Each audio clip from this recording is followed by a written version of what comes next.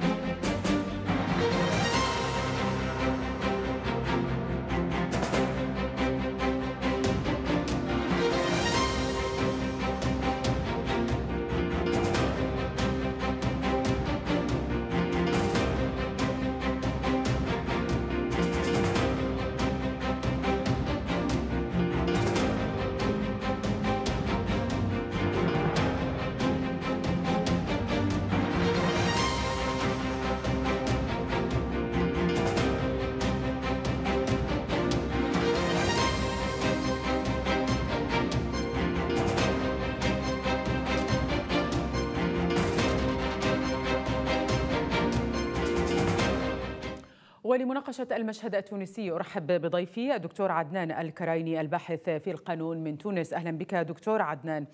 لنبدأ من إضراب الأمعاء الخاوية. ما دقة الأنباء أو حقيقة تدهور صحة بعض المضربين عن الطعام؟ بداية بسم الله الرحمن الرحيم. شكرا للدعوة الكريمة في قناتكم الكريمة. تحية ليك ولمشاهدين قناة الحوار. عبر كل أنحاء العالم العالم العربي. أهلا. فيما يخص معركة الامعاء الخاوية التي يخوضها الأحرار الآن في انقلاب قيس سعيد. صحيح تم بالأمس حمل المناضل عز الدين الحزبي إلى مستشفى شارنيكول بعد تدهور حالته الصحية. وكذلك آه، آه،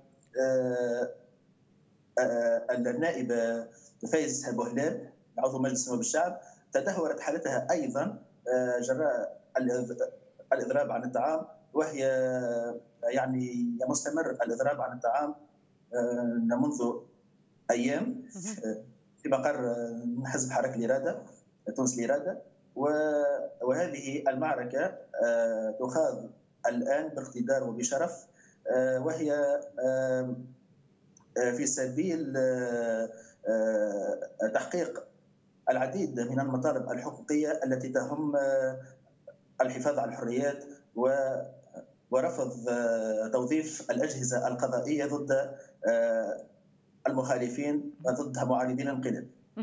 ما صدى التفاعل في الداخل التونسي سياسيا من قبل كافة القوى مع هذه المعركة من قبل المضربين عن الطعام؟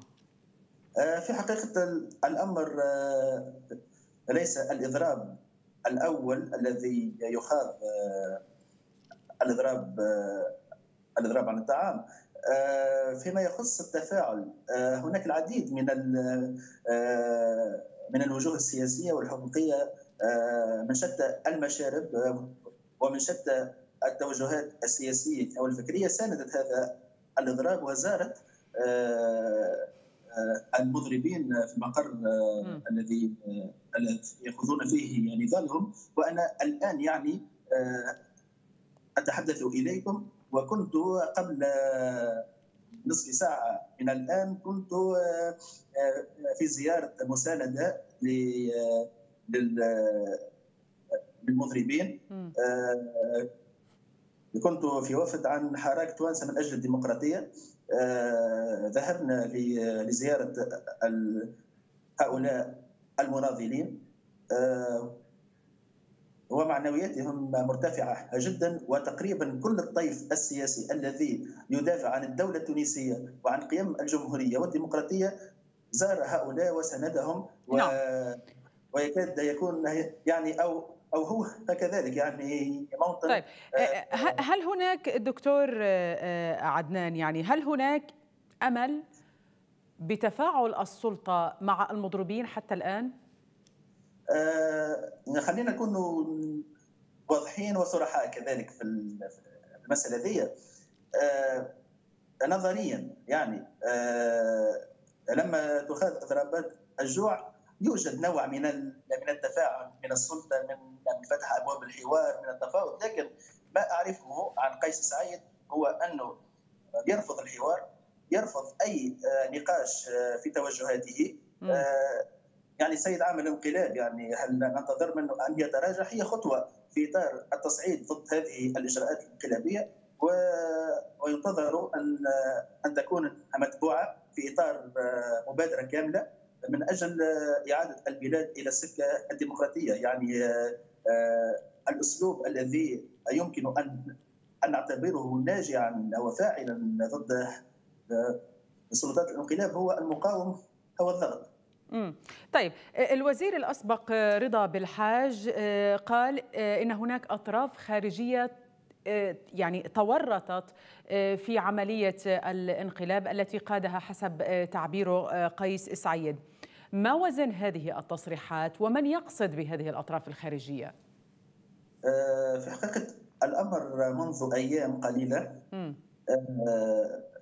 نشرت على موقع الفيسبوك وثائق نسبت إلى المخابرات العامة المصرية.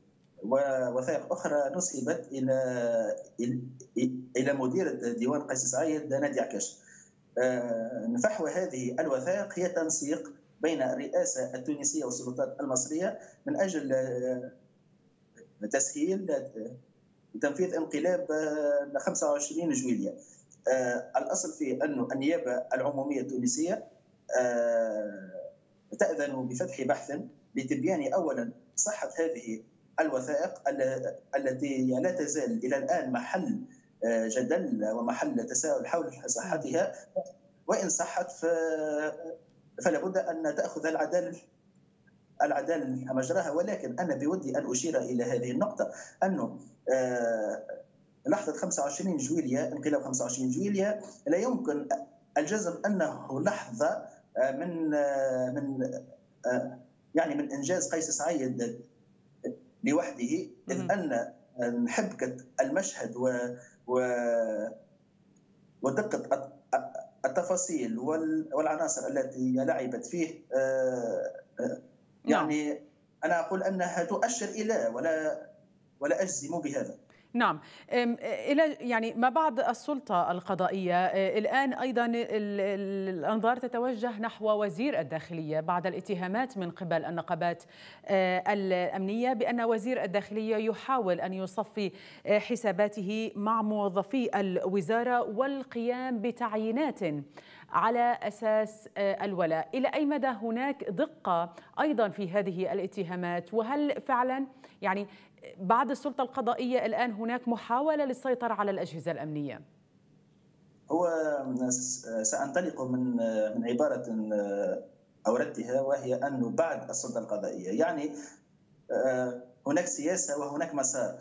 دعني أقول أن الأمر لم ينطلق مع السلطة القضائية بل انطلق مع السلطة التشريعية.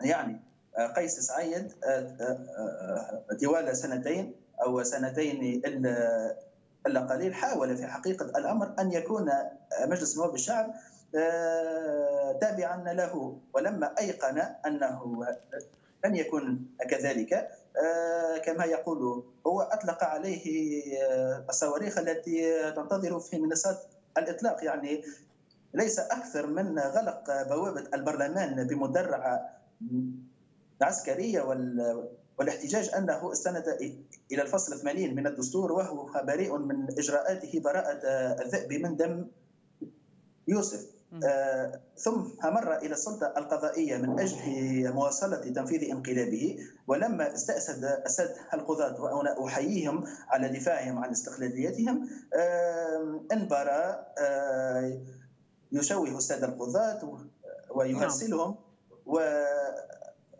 ويكيل لهم الاتهامات.